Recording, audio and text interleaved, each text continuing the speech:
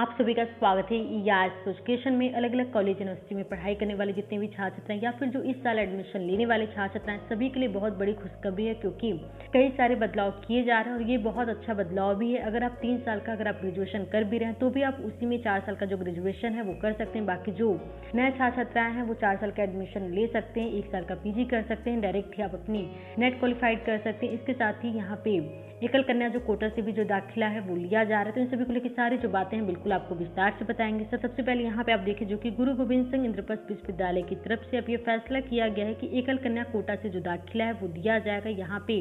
और कितने यूनिवर्सिटी हैं जिसमें कि आप एकल कन्या कोटा के तहत यहाँ पे एडमिशन ले सकते हैं या फिर अभी इस पर विचार विमर्श किए जा रहे हैं। सभी को लेकर सारी बातें बिल्कुल आपको विस्तार से बताएँगे। उससे पहले यहाँ पे क्या सारी बातें कही गई हैं वो आप लोग देख ले कि गुरु गोविंद सिंह इंद्रप्रस्थ विश्वविद्यालय में अब शिक्षक सत्र दो हज़ार से एकल कन्या कोटा से भी दाखिला मिलेगा। आईपी यूनिवर्सिटी में सत्र दो हज़ार से अपने सभी यूनिवर्सिटी स्कूल और सेंटर में चलने वाले यूजी पीजी प्रोग्राम में एक सीट का अतिरिक्त सिंगल गर्ल्स चाइल्ड कोटा देने का निर्णय लिया। यदि किसी परिवार में दोनों जुड़वा बच्चे लड़कियाँ हैं तो दोनों इस कोटा के दायरे में आएँगी।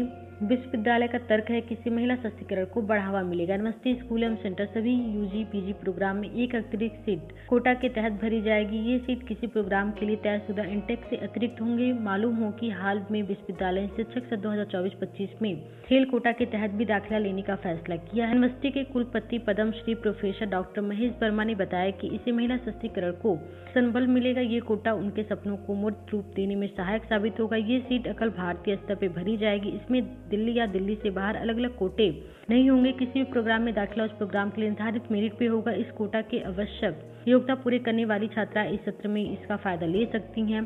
सभी प्रोग्राम की लगभग चालीस हज़ार सीट हैं। ये कोटा इन सीटों के अतिरिक्त होंगे। मालूम है कि ड्यू बीते साल शुरू किए गए तीन बीटे प्रोग्राम में एकल कन्या कोटा का प्रावधान है। तो यहाँ पे आप देख सकते हैं जो कि पहले ड्यू यूनिवर्सिटी की तरफ़ से किया गया था, जहाँ पे एकल कन्या कोटा के तहत जो एडमिशन है वो दिया जाएगा। अब यहाँ पे जो की गुरु गोविंद सिंह इंद्रप्रस्थ विश्वविद्यालय इनकी तरफ़ से भी एकल कन्या कोटा के तहत जो दाखिला है, वो दिया जाएगा। इसी तरीके से कई सारे अलग अलग कॉलेज यूनिवर्सिटी की तरफ़ से फैसले लिए जा रहे हैं, जहाँ पे आपकी एकल कन्या कोटा के तहत जो दाखिला है, वो दिया जाएगा। तो आप जिस भी कॉलेज यूनिवर्सिटी में एडमिशन लेना चाहते हैं तो आप उसमें बिल्कुल पता कर सकते हैं कि वहाँ एकल कन्या कोटा को अभी लागू कर दिया गया या फिर नहीं किया गया, क्योंकि कई सारे अलग अलग यूनिवर्सिटी की तरफ़ से जो एकल कन्या कोटा है, उसे लागू किया जा रहा है। इसके बाद से यहाँ पे आप लोग दूसरी जानकारी देखें, जहाँ पे बताया गया है कि राज विश्वविद्यालय में कर सकेंगे चार वर्षीय स्नातक और एक साल का PG course.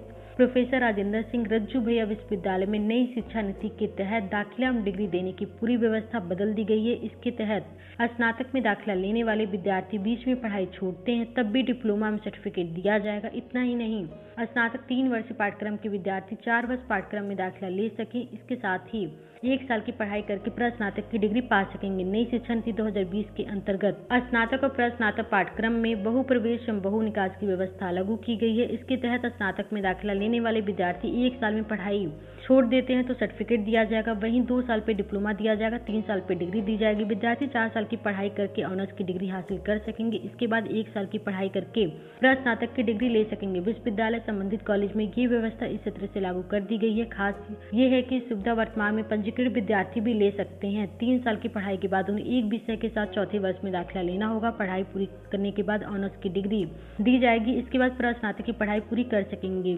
और जैसा कि आप जानते भी हैं कि चार साल का अगर आप स्नातक स्नातक करते हैं तो डायरेक्ट आप नेट पी के लिए क्वालिफाइड हो जाएँगे डायरेक्ट आप उसमें दाखिला ले सकते हैं। तो इन सभी को लेकर यहाँ पे जो अलग अलग यूनिवर्सिटी है, वहाँ पे बदलाव किए जा रहे हैं। स्टेट यूनिवर्सिटी यानी कि राज्य विश्वविद्यालय की तरफ़ से यहाँ पे फैसला किया गया है, जहाँ पे आप अपने चार वर्षीय के स्नातक और एक साल का पीजी कोर्स ही कर सकते हैं। इसके साथ ही जो अभ्यर्थी पहले से तीन वर्षीय कोर्सेज में है, वो भी यहाँ पे चार वर्षीय जो कोर्स है, इसका लाभ ले सकते हैं। तो यहाँ पे कई सारे जो अलग अलग कॉलेज यूनिवर्सिटी की तरफ़ से बदलाव किए जा रहे हैं, जो कि यहाँ पे छात्र छात्राओं के लिए काफ़ी अच्छी खबर है। बाकी जो भी अपडेट आएगा, हमेशा आपको टाइम टू टाइम चैनल पर मिलता रहेगा, इसलिए चैनल को सब्सक्राइब करें बेलाइकन को क्लिक करें और कोई सवाल आपके रह जाते हो तो अपने सवाल को भी कमेंट कर दें।